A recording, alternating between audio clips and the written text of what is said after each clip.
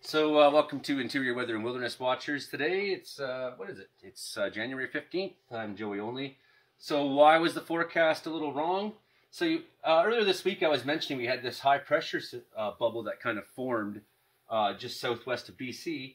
And what's happened is models were just a little bit wrong in its influence. And you can see that high pressure bubble is feeding up.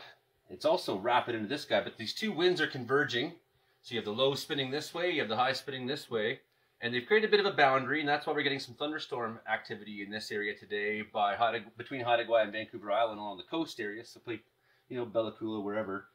Uh, and you can see just the influence of that high pressure up in there. Um, so, you know, as we get more and more data, sometimes the models change a little bit. All it's, all it's really changed is this guy's knocking on the door, and this guy is just saying, sorry, you got to wait 12 more hours to come in. You know, and that's uh, really the story of why the weather is the way it is today. Uh, a little later in the video today, um, something I'm saying gets muffled, and I'm talking about this exact same thing. I'm saying that uh, sometimes your forecaster calls for snow, and you say, well, it's raining. Where's the snow?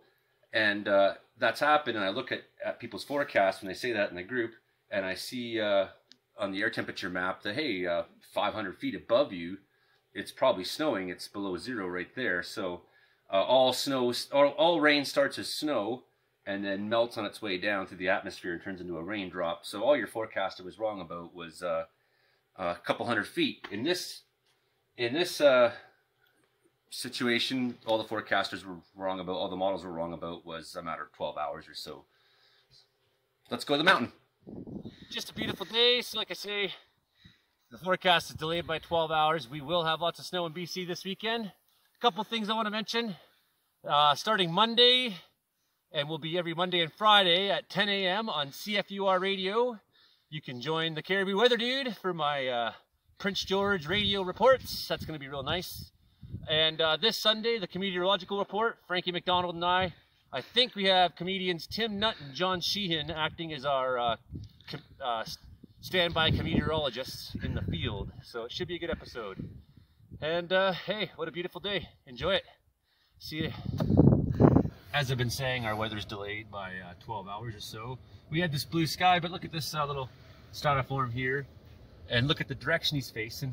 Uh, the sun's right there, so that's south, and west is this way. And you see how it's coming out of the west. Just some signs that our high pressure is not going to last all that long. And the forecast was correct. It's just that uh, even the models and forecasters, uh, everybody was just a little off. And sometimes you got to remember, you know, things like that, that sometimes forecasters aren't wrong. It's just that the timing is off by a couple hours. Something, uh, you know, you have these models and you keep putting uh, data and data and data into them.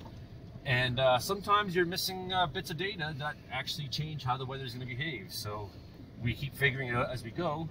And we find out once in a while that, hey, everybody was a little wrong because the model that we predicted being the correct one well, that high pressure was just a little bit more willing to take a jump into BC. So that's the thing. And then, uh, you know, another good example of that too, people were saying to me, well, it's raining here and the, the uh, forecaster said it was going to snow today. And then I looked at their, the air temperature and realized that uh, maybe about 500 feet above them it was snowing. Because uh, all rain starts as snow. It, it melts on its way through the atmosphere, it turns into rain. So every raindrop is a snowflake first. So really all your forecaster was wrong about was uh, a couple hundred feet. Um, hey, so we're just pointing out uh, some of the clouds over coming down the mountain. And here we have some lenticular formations again. That's the second time this week.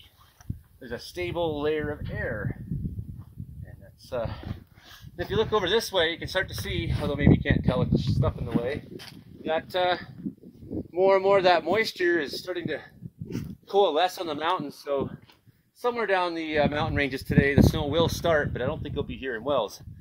Here's uh, my friend Dirk. We have the same birthday. Yeah, same birthday. Not only that, not not not just one stable layer of air. We're gonna have stable heat in the house, thanks to Joey. Hey, you're welcome. Thanks a lot, man. Right on, Dirk. All right. See you next time.